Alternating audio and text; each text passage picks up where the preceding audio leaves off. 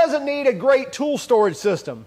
Well, check out Ridgid's when we get back. I'm Tim Johnson. You're watching Shop Tool Reviews.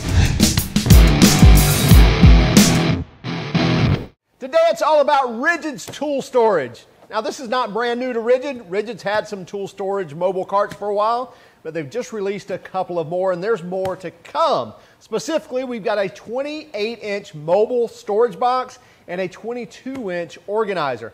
Let's dive in, take a closer look at each one of these features and some of the specifications. And then as always, we'll come back and we'll wrap it up with pricing, warranty, and our final thoughts. So Ridgid is expanding on their tool storage capabilities or their tool storage options. And what we have here is a 28 inch mobile toolbox or mobile storage box. And then we also have a 22 inch organizer. Now let's dig into the 28 inch, just show some of the features here and see what we think about it. Obviously you get a very uh, impact resistant uh, plastic box here that, by the way, lifetime warranty on these as well. Uh, another thing I noticed right away were the metal latches here. Very solid locking latches. Uh, also capable of putting a lock through here, so even the hasp there is metal as well.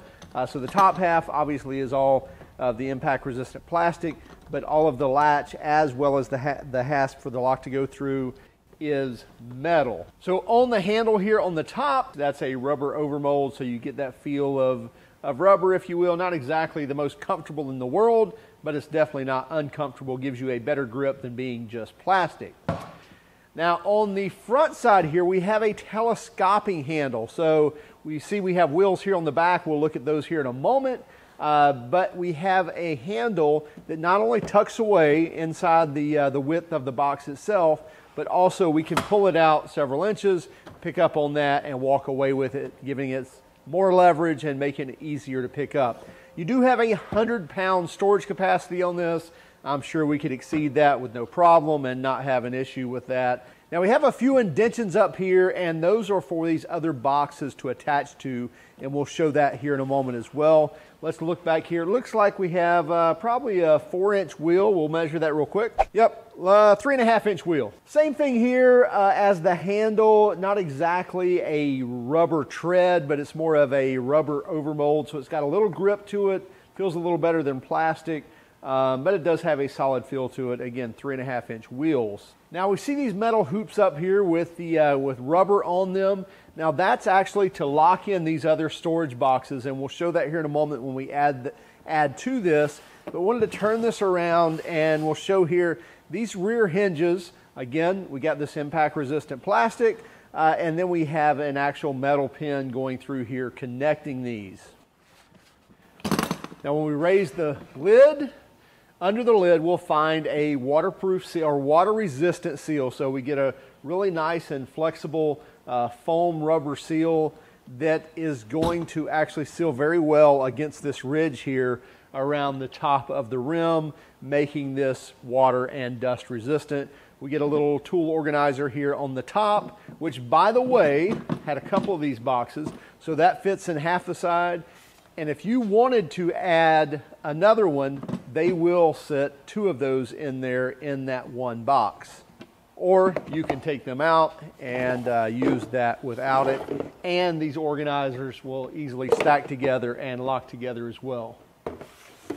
Something else I noticed on this box is this little divider here. It looks like you could probably cut a piece of half inch plywood, maybe a little thinner, and be able to slide that in there to divide these two sides if you wanted to, if you wanted to separate the two sides. We know this is a 28 inch box, but total internal storage space is about 25 inches from this internal handle recess here to the other one, so a little less than 25 inches. And height, uh, you're looking at right at nine and a quarter inches as far as interior height and what you'll be able to stack in there. And of course, of course, that would be without the uh, little tool trays in there also. And, uh, and then your width uh, right at uh, looks like about 10 inches of, a little more than 10 inches of total storage or of uh, open storage. Uh, a little more if you look here on the edges. Um, so right at 11 inches here in these wide openings, but of course in between uh, these two pieces here, that's only going to give it a little more than 10 inches of, of storage space there. Now let's take a look at the smaller 22 inch organizer.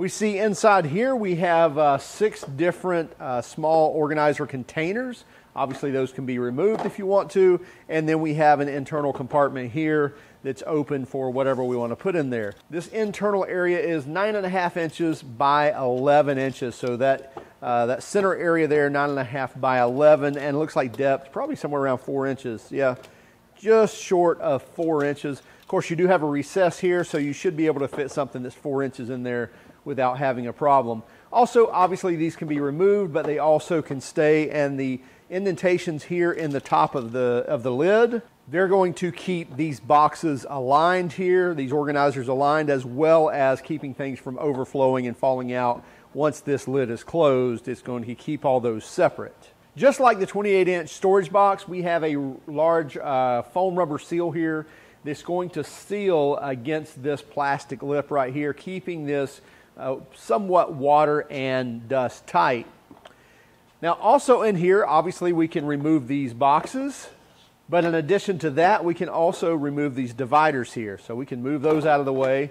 And if you wanted one big open area, now you've expanded this uh, to 20 and a half inches by 11 inches. So gaining you a lot more room to put tools and whatever else you need in there.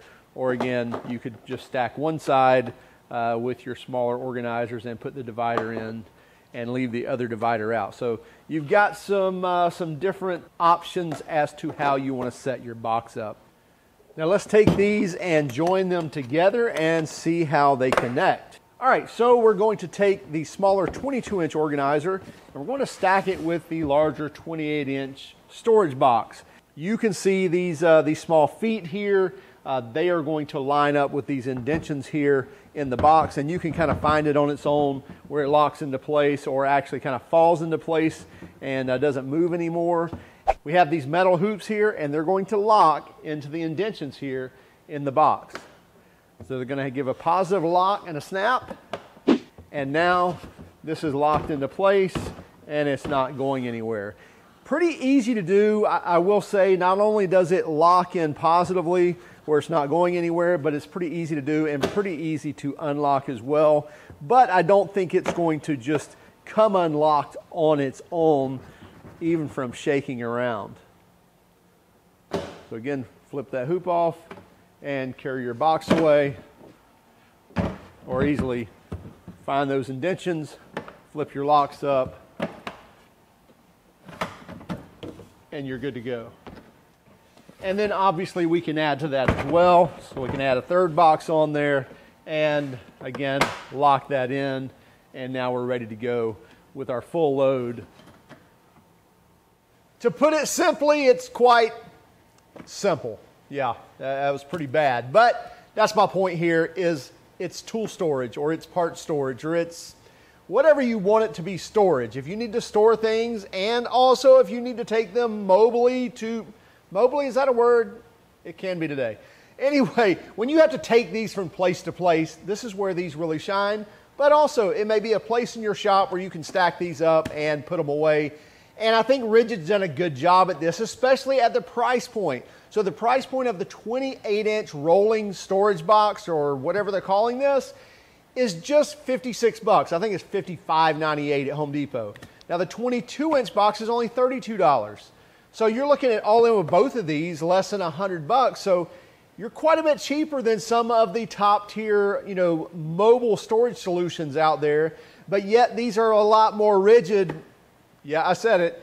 But compared to the more DIY products or semi-pro products that are out there, these look a lot nicer and they're not near as flimsy. They've got a really nice feel to them, as well as structurally, they're much more sound. I like the connection points of these. Uh, they're not flimsy, they're easy to snap on and off. Uh, no, they don't have any kind of latching spring loaded mechanism where you have to trigger and pull them out or anything. Um, but I think they're easy to do as well as they positively lock into place and they're not going to go anywhere. They also have that dust and, uh, and water resistant uh, membrane or foam rubber seal around them. It's going to keep water out, dust out, keep your tools or parts protected, whatever you're storing in there. Hey, check them out. They're available now at the Home Depot. You can also find them at homedepot.com. As I mentioned, We're going to see some more items that will be connecting to these as well. Um, but I really like this little, you know, mobile tool cart. I like the extending handle that gives it a lot more leverage. You can easily pull this around the job site or around the shop or wherever you need it. So check it out for yourselves. Also, keep track of us on Instagram, Facebook, and Twitter. If you don't mind, would you hit that like and subscribe button? But only if you liked our video. Hey, if you hated our video, by all means, give us a thumbs down. But would you let us know in the comments why? Have a great day and keep smiling.